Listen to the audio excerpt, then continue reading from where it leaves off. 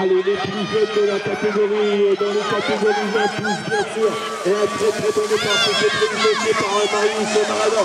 Marius qui domine ses manches depuis euh, ce matin en seconde position. Elliot Vegand semble là bien placé, le pilote de Colmar dans l'intérieur, mais se fait reprendre maintenant par ce stade numéro 15 avec euh, Maxence Dino Yamataïa, avec euh, le numéro 15 devant Delta, qui roule plus jamais Marius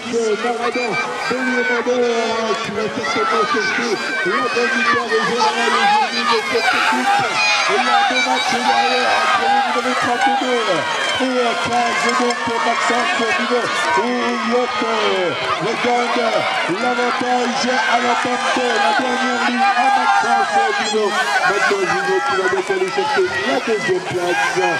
Elliot Vedang la troisième et bien sûr la grande victoire de Maradon.